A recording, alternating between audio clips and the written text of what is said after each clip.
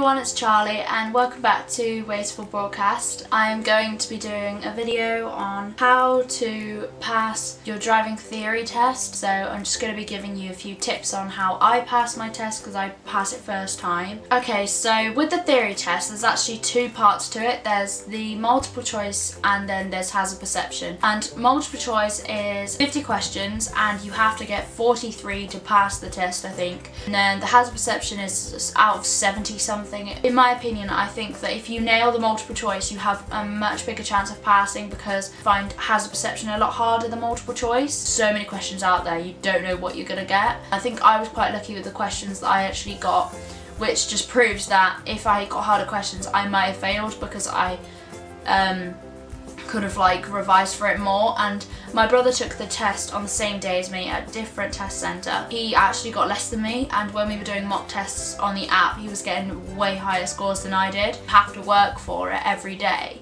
and keep it up, uh, like be persistent, what's the word, like be consistent with it otherwise you're setting yourself to fail really if you don't like try. Even if you think that you know all the road signs out there, it's worth taking at least one mock test. You can get books, I've seen people with books before um, which have like full on stacks of pages about it but I think the app is the best way to go if you have a smartphone. So you can get it on Android or iPhone I'm pretty sure.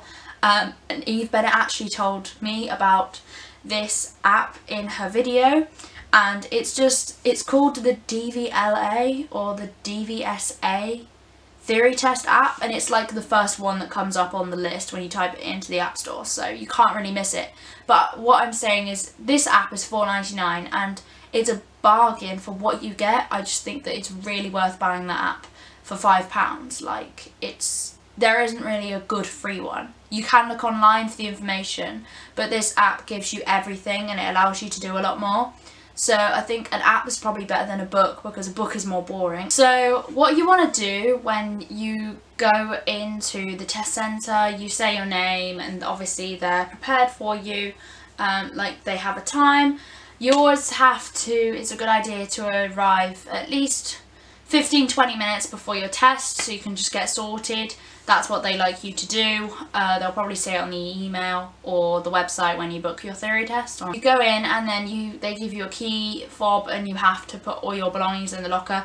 Now, um, I, this is quite funny for me uh, but and embarrassing because there was this really serious posh guy at the desk and he was quite scary. He did not have any sympathy for me at all and I opened up the locker which was like the bottom locker and somehow I dropped everything I had in my hands on the floor because I was that nervous. So just try and breathe and don't be nervous.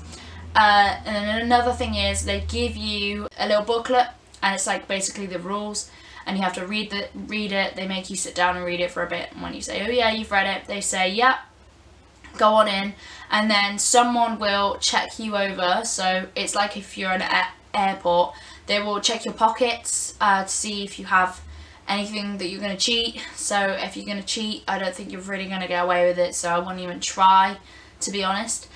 And then you go in and you sit in like a little booth. So um, when I went in, there were these people doing other tests and it did not look like anything to do with driving. So I think they were taking some sort of an exam or something. Um, so I, it was really awkward. It was dead silent. So just don't panic. Just do your own thing. No one's going to be judging you. Um, no one's going to be looking at your screen because they've got walls between like their computers and they're not going to be like looking I'll see like oh she's got it wrong um, and there might be people in there like adults that which are like old much older than you you just go in and you sit down and you test the computer and you make sure everything's working and you have um, some headphones on the left hand side and therefore hazard perception because hazard perception is you have to look at videos and you have to click on the screen anywhere when there's a hazard. So what I suggest about that is don't click too fast or don't click too late. Like when you see a hazard, say one, two in your head and then click. Because when I did it, um, I remember I clicked too fast and it came up with like error, I think. So I think that's why I lost points on my hazard perception. But you just have to look everywhere and it's commonly like cars coming out, uh, things on the road, icy, Um, mainly just lorries and cars and cyclists like flying around on the road everywhere and you just have to click when you think that there's a hazard and you're like in the screen as if you were driving. It's quite cool to be fair. But um, just don't get nervous and just put the headphones on, you know. Um, I remember I put the headphones on I kept taking them off because they were really itchy. But just like try and concentrate, do your best and you'll probably pass. So, and then you cut once you finish your test, that she'll give you, the, the person will give you instructions on what to do when you sit down on the computer and when you're finished they will just like come over and they say like yeah come to the desk and then you have to wait five minutes and then they give you your results and you just walk out the door with your results and then open them so yeah and don't judge your result on the facial expression of the receptionist because uh, they will always look moody at you because it's all very, very serious in there.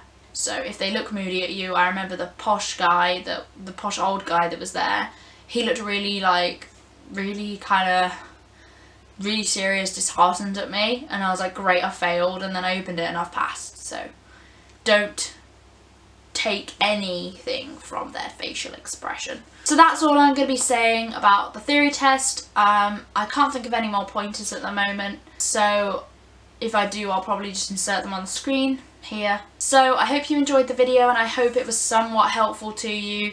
Um, when you take your driving test and your theory test, it feels like you're growing up in the world.